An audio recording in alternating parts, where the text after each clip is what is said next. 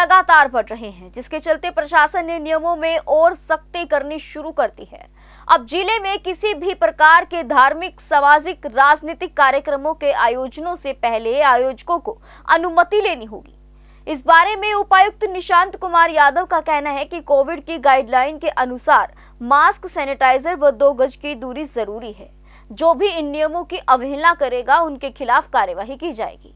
ग्रामीण क्षेत्रों में धार्मिक सामाजिक राजनीतिक कार्यक्रमों के लिए संबंधित बीडीपीओ से अनुमति लेनी होगी और शहरी क्षेत्र में नगराधीश से सादे कागज़ पर आवेदन करके अनुमति लेनी होगी। उन्होंने कहा कि यदि कार्यक्रम किसी हाल में है तो उसकी क्षमता 50 प्रतिशत की होनी चाहिए। 200 से ज़्यादा व्यक्तियों को एक जगह एकत्रित नहीं होने दिया जाएगा। यदि बाहर कार्यक्रम है तो उसके लिए 500 लोगों की अनुमति रहेगी। कोविड के सभी निर्देशों की अनुपालना करना सभी आयोजकों की ज़िम्मेदारी रहेगी। यदि कहीं पर अनदेखी की गई तो आयोजकों के साथ बैंकेट हॉल या सभा के मालिकों के साथ डिजास्टर मैनेजमेंट की धारा 188 के तहत कार्यवाही की जाएगी। इसकी चेकिंग के लिए ज़िले में 17 ड्यूटी मजिस्ट्रेट बनाए गए हैं। सभी ड्यूटी मजिस्ट्रेट के साथ पुलिस बल तैनात रहेगा। उन्होंने यह भी कहा कि अंतिम संस्कार के समय भी 50 से ज़्यादा व्यक्ति शामिल नहीं किए जाएँगे। यदि ऐसा किया गया तो शिवपुरी के प्रबंधक के खिलाफ कार्यवाही बनेगी। डीसी ने कहा कि स्कूलों में इन नियमों का दृढ़ता से पालन किया जा रहा है। अभिभावकों की अनुमति से ही बच्चों को स्कूल में भेजा जा रहा है। उन्होंने कहा कि बाजारों में भी दुकानों पर भीड़ बढ़ रहा है। सभी दुकानदार मास्क रखे, ग्राहकों को मास्क दे। यदि कोई दुकानदार अनदेखी करता है तो उसके खिलाफ भी कार्यवाही की जाएगी। उन्होंने कहा कि लोगों की सुविधा के लिए जिला में 1950 हेल्प डेस्क बनाई जाएगी। उन्होंने कहा कि अब फिर कंटेनमेंट जोन बनाए जा रहे हैं। एनडीआरआई में एक कोविड सेंटर बनाया गया है जैसे जैसे मामले आ रहे हैं और कोविड सेंटर बनाए जाएँगे। कोरोना के केसेस अब पूरे हरियाणा में पूरे देश में बढ़े हैं। करनाल में भी अब हाईएस्ट केसेस आने शुरू हो गए हैं और लगभग डेली 200, 250, 300 केसेस की संख्या में करनाल में आ रहे हैं। इसमें आ, सरकार की तरफ़ से नई गाइडलाइंस आई हैं और उन गाइडलाइंस में ये मेंशन है कि आ, किस तरीके से गैदरिंग्स को हम रेस्ट्रिक्ट करें। तो कोई भी अगर कोई सामाजिक फ़ंक्शन है धार्मिक फ़ंक्शन है राजनीतिक फ़ंक्शन है कोई स्पोर्ट्स इवेंट है कल्चरल प्रोग्राम है कुछ भी है हर किसी की परमिशन जो है डिस्ट्रिक्ट मजिस्ट्रेट से यानी डीसी ऑफ़िस से ली जानी आवश्यक है। उसके लिए सीटीएम ऑफ़िस में कोई भी सीधा आकर के अपनी एप्लीकेशन दे सकते हैं। डीसी ऑफ़िस की हमारे यहाँ एमए ब्रांच है मिसलेनियस ब्रांच वहाँ जा कर के, कमरा नंबर 26 में जो बैठती है, वहाँ जा कर के उस ब्रांच में कोई दरखास्त अपनी दे सकता है। और नीचे जो हेल्प डेस्क है ग्राउंड फ्लोर पे सेक्रेटरेट की, वहाँ पे भी हमने एक प्रावधान किया है कि वहाँ भी अगर कोई अपनी दरखास्त दे देगा, उसको हम कोशिश करेंगे एक या दो दिन में मैक्सिमम प्रोसेस करेंगे, क्योंकि उसमें पुलिस की, संबंधित विभाग की नगर पालिका या नगर निगम की या अगर ग्रामीण क्षेत्र है तो संबंधित वीडियो की, उन सब की एन की रिक्वायरमेंट होगी। उसके बाद ही हम जो है वो कार्यक्रम करने की परमिशन देंगे। तो एक चीज़ तो मैं स्पष्ट करूँ कि कोई भी प्रोग्राम चाहे वो सोशल हो, धार्मिक हो रिलीजियस हो, राजनीतिक हो कल्चरल हो स्पोर्ट्स का प्रोग्राम हो, बिना परमिशन के लोगों की गैदरिंग ना की जाए। और जहाँ तक जो परमिशन दी जाएँगी, वो इस शर्त पे, इस कंडीशन पे दी जाएँगी कि अगर इंडोर प्रोग्राम है तो उसकी अगर इंडोर हॉल की क्षमता जितनी है, उसके 50 परसेंट लोग ही उसमें आ सकते हों और up to a maximum limit of 200 यानी इंडोर प्रोग्राम में कोई हॉल कितना भी बड़ा हो 200 से ज़्यादा लोग तो वैसे भी अलाउड नहीं होंगे और 50 परसेंट मैक्सिमम उनकी कैपेसिटी अलाउड रहेगी। अगर आउटडोर की मैं बात करूँ तो मैक्सिमम 500 लोग इसमें अलाउड रहेंगे और जो अंतिम संस्कार हैं फ्यूनरल्स हैं, वहाँ पचास लोगों की गैदरिंग या जमावड़े की आवश्यकता होगी। इसमें जितने भी ये जो रिस्ट्रिक्शंस हैं, इनको चेक करने के लिए हमने जॉइंट इंस्पेक्शन टीम्स बनाई हैं।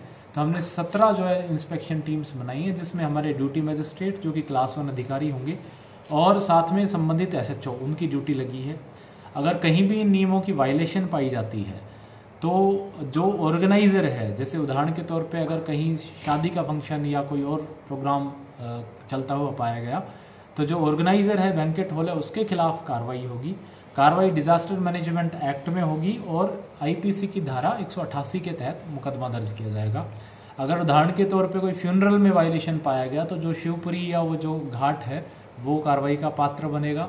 तो इस प्रकार से जहाँ भी इस तरह की वायलेशन पाई जाएँगी वहाँ हम सख्ती से सर स्कूल्स को लेकर क्या रहेगी? स्कूल्स को लेकर लोग सवाल पूछ रहे हैं कि छोटे बच्चों के भी स्कूल खुले हैं वहाँ भी 200 से 300 से 500 तक बच्चे जो है वहाँ पर होते हैं। रिसेस में इकट्ठे होते हैं प्ले में इकट्ठे होते हैं प्रेयर में इकट्ठे होते हैं तो उसके लिए क्या गाइडलाइंस रहेंगी? अभी तो सरकार की तरफ़ से स्कूल्स ओपन है क्योंकि बोर्ड एग्जामिनेशन और बाकी क्लासेस के एग्जामिनेशन भी अंडर प्रोसेस हैं आने वाले हैं। स्कूल्स में जो बच्चे हैं ये स्पष्ट है कि वो अपनी परमिशन की रिटर्न अपने पेरेंट्स की रिटर्न सहमति के बाद स्कूल में आएँगे। सभी स्कूलों को हमने इंस्ट्रक्शंस दिए हैं कि मास्क और सैनिटाइज़र और बाकी कोविड प्रोटोकॉल से उनका पालन करें। स्कूल्स में जो कि एक तो पेरेंट्स की सहमति से बच्चे आ रहे हैं और ये सारे प्रोटोकॉल्स नॉर्म्स को पालन करना आसान है क्योंकि वो स्कूल इन जनरल डिसिप्लिन होता है तो मुझे नहीं लगता स्कूल्स में हमें कहीं इसको इन्फोर्स करने में दिक्कत आएगी। मेन समस्या जो सामाजिक और धार्मिक गैदरिंग्स हैं, शहर में देखने को आया कि काफ़ी सारी शादियाँ, बाकी सारे प्रोग्राम्स जागरण, जगरात्रे, इस तरह की चीज़ों पे बड़ी बड़ी संख्या में गैदरिंग्स होती हैं तो उसमें मैं उम्मीद करूँगा कि इस तरह की जो लापरवाही ना देखने को मिले। जो हमारे बड़े मार्केट्स हैं, विशेष करके करनाल शहर में, या इवन घरोंडा में, और जो बाकी छोटे कस्बे हैं, उनमें भी, उसमें देखने को आया है कि दुकानों पे किसी भी तरह का जो प्रोटोकॉल फॉलो नहीं होता। तो मैं आग्रह करूँगा सभी दुकानदार भाइयों से कि मास्क वो ज़रूर रखें, अपने वहाँ पे सैनिटाइजर्स रखें। अगर रैंडमली टीम किसी भी दुकान पे जाके चेकिंग करती है और ये कोविड प्रोटोकॉल पालन होते हुए नहीं पाए गए तो वो दुकानदार भी कार्रवाई का पात्र बने। सर जिस तरह से आपने बताया कि एक या दो दिन में परमिशन मिलेगी अब संस्कार जैसी कोई चीज़ है वो तो सेम डे होती है सर। उस केस में क्या रहेगा? संस्कार में कोई भी हमें आखिरी मोमेंट पे अगर इस तरह की इमरजेंसी आती है तो कोई एक इंटीमेशन सूचना डाल करके और वो कर सकते हैं बशर्ते वो अपने पचास की शर्त उसमें पालन करें। सर एक सवाल सर और है जैसे असंध है असंध 40-45 किलोमीटर दूर पड़ जाता है नीलो खेड़ी है इस तरह की जगह से तो सर आना भी पॉसिबल नहीं है क्या उनके लिए वहाँ पे कोई हेल्प डेस्क बनाया गया है? बिल्कुल जो रेस्पेक्टिव सब डिवीज़न ऑफिसर्स है एसडीएम ऑफिसर्स है वहाँ पे सिमिलर व्यवस्था है वहाँ भी वो अपने कंसर्न एसडीएम को या वहाँ की हेल्प डेस्क पे अपनी एप्लीकेशन दे दें। और हम जल्दी ही एक ईमेल आईडी भी जारी कर देंगे। लोग ईमेल के थ्रू भी परमिशन मांग सकते हैं। उनको फ़िज़िकल तो आने की परमिशन मिल जाएगी सर। तो ईमेल अब हमें लग रहा है कि उसकी एक्सपेंशन की भी ज़रूरत है। तो हम एक दो और लोकेशंस ढूंढ रहे हैं। कुछ कोरोना पॉजिटिव पेशेंट्स इस तरह की लापरवाही करते मिले कि कोई जब हमारी हेल्थ की टीम उनके वहाँ पे गई तो वो बाज़ार में गए हुए थे या बाकी लोगों से घुल मिल रहे थे। तो एक तो हमने एफआईआर दर्ज करवाई है। बाकी इस तरह के और भी अगर कोई लोग मिले तो हम तुरंत उनके खिलाफ मुकदमा भी दर्ज कराएँगे।